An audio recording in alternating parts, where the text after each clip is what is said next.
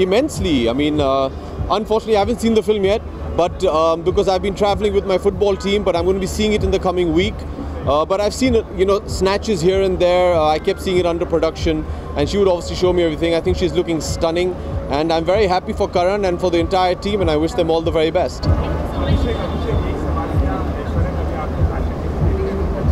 Haji, she chose my outfit today.